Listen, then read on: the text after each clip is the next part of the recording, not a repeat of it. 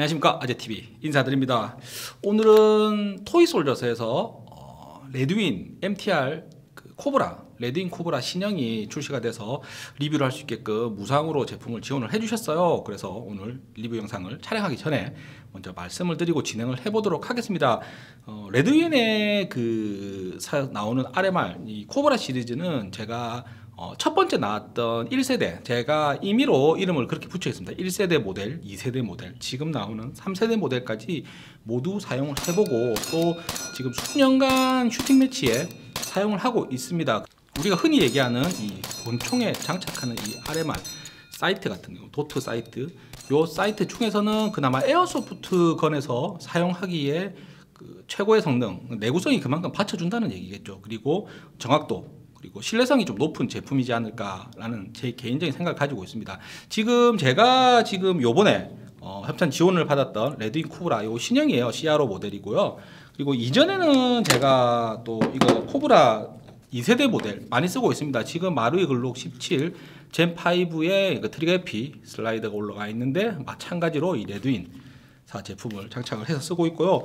그 이전에는 마루이 글록 17 Gen4에 이렇게 노바 슬라이드 RMR cut되어 있는데 이렇게 똑같이 올려서 사용하고 있습니다. 요거 외에도 제가 VFC 글록이라든지 이런 거 RMR을 이 올라간 이 MOS 슬라이드가 올라간 이 제품들에게 모두 저는 이 코브라 제품을 사용을 하고 있습니다. 그만큼 뭐 신뢰성이라든지 내구성은 제가 개인적으로 수년간 테스트를 해서 어 어느 정도 에어소프트건에서 충분히 어, 문제 없이 사용할 수 있는 제품이라고 뭐 개인적으로 보증을 좀 드릴 수 있는 것 같아요. 자 그러면은 우리가 이 핸들건에 이렇게 광학을 올려서 사용하는 거 어떻게 사용을 하는지 먼저 한번 간단하게 말씀을 드려보겠습니다 보통은 우리가 airsoft gun에 이렇게 iron sight를 통해서 어, 이렇게 사격을 하게 됩니다 근데 iron sight를 보고 쏠 경우에는 이 근거리에 있는 타켓이나 어, 우리가 서바이벌 게임 할 때 맞출 때는 솔직히 iron sight를 이렇게 보고 쏘지 않더라도 한 5m, 6m는 웬만하면은 우리 이 몸 상반신 정도는 충분히 맞춥니다. 그리고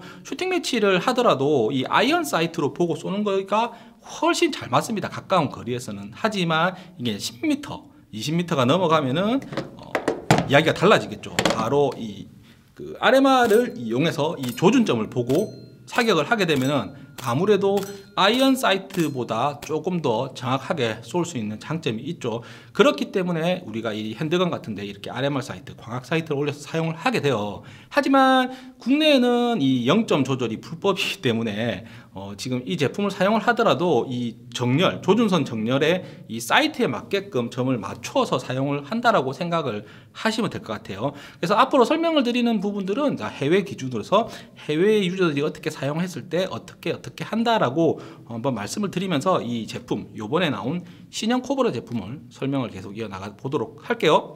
요번 그 레드윈사의 신형 코브라 같은 경우는 이 사이즈가 어, 넓어졌습니다. 어, 28, 20 사이즈로 바뀌었어요. 이전에 2세대 모델은 26, 22 모델로 가로가 26mm, 세로가 22mm였는데 요거를 가로 26에서 22mm로 늘렸어요. 그래서 이 비교를 해보시면 은 가로로 폭이 훨씬 높습니다. 하지만 세로 폭은 2mm가 줄었습니다. 그래서 우리가 이렇게 사격을 할 때 신성 기준으로 본다라고 하면 은 세로가 높은 것보다 가로가 넓은 게 눈에 확 들어오는 시인성이 훨씬 좋습니다. 이거는. 근데 사람마다 편차가 있기 때문에 대부분의 사람들이 가로로 넓게끔 그러니까 우리가 모니터를 보더라도 와이드 모니터, TV도 세로로 넓, 아, 가로로 넓잖아요. 그렇듯이 이 sight도 가로로 넓기 때문에 훨씬 더 시인성이 좋아졌다라고 할 수 있어요.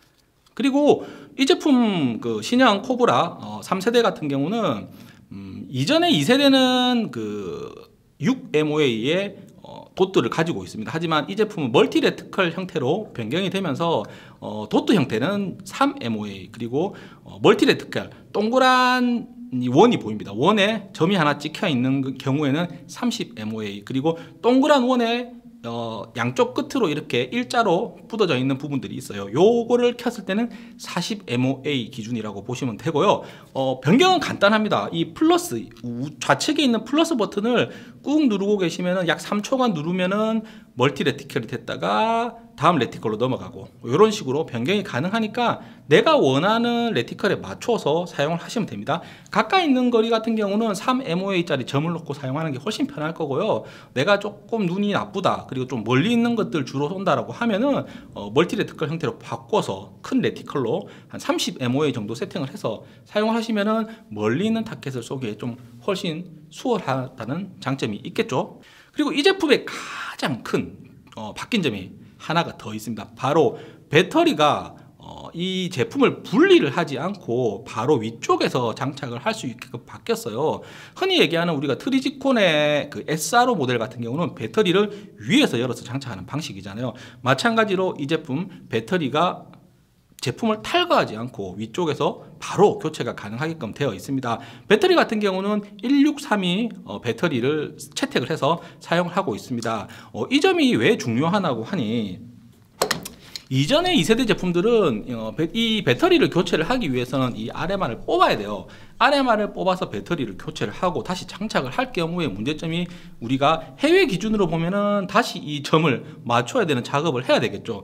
하지만 이 제품은 따로 광학을 떼지 않고 위쪽에서 배터리만 교체가 가능하기 때문에 그런 수고로움이 좀 더 덜 수 있다라고 할 수 있어요. 그리고 또 하나가 요 0점 조절 기능이 이전 모델들 같은 경우는 육각 렌치를 사용해서 이런 식으로 교체를 하게 되는데 이 제품은 일자 드라이버 형태로 바뀌었습니다. 그리고 클릭을 할 때 클릭음이 추가가 됐습니다. 그래서 딸깍딸깍딸깍 해서 명확하게 어, 조절이 가능하다는 장점. 그리고 이 한 번 클릭할 때마다 어, 거리는 1MO의 기준이라고 합니다. 그리고 이 레드윈의 요 신형 그 코브라 MTR 제품 같은 경우는 기본적으로 제조사 레드윈사가 되겠죠. 레드윈사에서 5년간 보증을 해준다라고 해요. 하드웨어적인 부분에 장애가 발생, 그러니까 고장이 발생하면은 5년간 무상으로 보증을 해준다라고 합니다. 다만 이제 국내에서 AS 정책이 어떻게 바뀔지는 모르겠어요. AS를 대행을 해주실 건지 아니면은 우리가 직접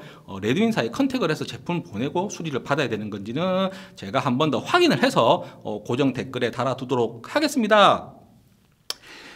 레드윈사에서 5년간 AS 보증을 해준다라는 말이 뭘까요? 음, 바로 이 제품 뭐 파손을 제외하고 우리가 에어소프트건에 올려서 이렇게 사용을 하는 데 있어서 5년 동안 충분히 고장 없이 사용할 수 있다라는 어, 그 보증을 제조사에서 해준다라는 말이 지 않을까라는 개인적인 생각을 가지고 있습니다. 저 역시 마찬가지로 지금 3, 4년간 레드윈이 처음 나왔을 때부터 1세대, 2세대, 3세대를 모두 사용하고 있는 입장에서 아직까지 제품이 고장이 난다든지 이런 점은 없었습니다. 다만 요거는 개인적인 편차가 있기 때문에 뭐 간혹 고장이 나는 경우도 생길 수가 있습니다. 그 경우에는 어, 제조사에서 AS를 해주기 때문에 아마 어, 수입함 수입사에서 얘기를 하면은 더 토이솔저스에서 어, AS 대행을 해주시지 않을까라는 생각을 가지고 있습니다. 자, 그래서 오늘은 여러분들께 어, 레드윈사에서 어, 요번에 4월달에 새로 판매하고 있는 출시된 코브라 CRO 모델이에요.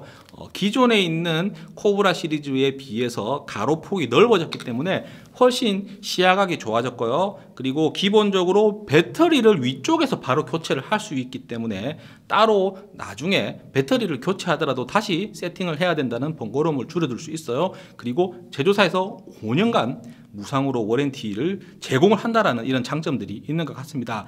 이 제품 다시 한번 말씀드리고 토이솔저스 이 제품을 리뷰할 수 있게 제품을 지원해 주신 토이솔저스 대표님께 감사 인사를 드리면서 오늘 영상을 마무리하도록 하겠습니다.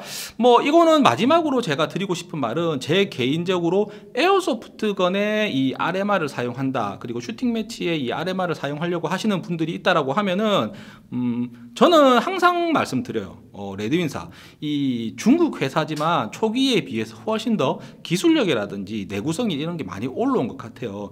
뭐 홀리워라 워리어라든지 뭐 이런 이런 좀 조금 저가형 제품들도 있긴 합니다. 그런 제품들도 제가 사용을 안 해본 건 아니에요. 해봤는데 내구성이 그만큼 받쳐주지를 못해요. 어, 쓰다 보면은 불이 꺼진다든지 아니면은 틀어진다든지 이런 부분들이 많았는데 아직까지 레드윈사 제품은 제가 그런 경우는 제 개인적으로 저한테는 없었어요. 3년 이상 사용을 했고 하기 때문에 그런 것들은 정말 괜찮은 제품이지 않을까라는 생각을 가집니다. 그러면 다음 이 시간에 어, 또 다른 재밌는 제품으로 돌아오도록 하겠습니다.